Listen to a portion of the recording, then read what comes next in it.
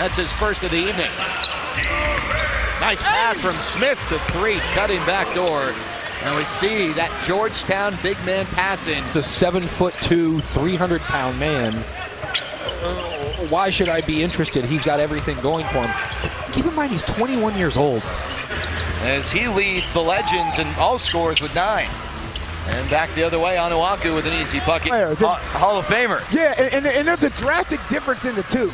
You know, because Gary Payton, what is he, the third? Second. Or the second. Gary Payton, the second. It's Harris. And he tried to find Hammonds, but the pass is intercepted by Nash. Smith and Tokoto, another athlete. You're talking about an athlete in Gary Payton. JP Tokoto, an athlete, as Jarvis Threatt lays it in. All right, so He needs at that time.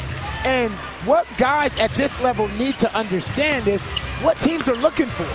Teams are not looking for really make an impact on their playoff push. Remember, this is a franchise looking to get to the playoffs for the first time since the inaugural season. which featured Antonio Daniels. There you go, back in 2011.